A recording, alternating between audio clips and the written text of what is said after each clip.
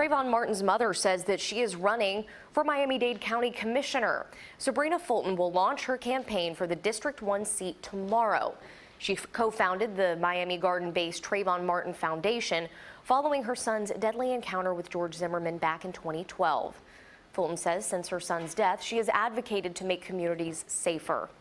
Some of the other issues she wants to take on include affordable living and wages.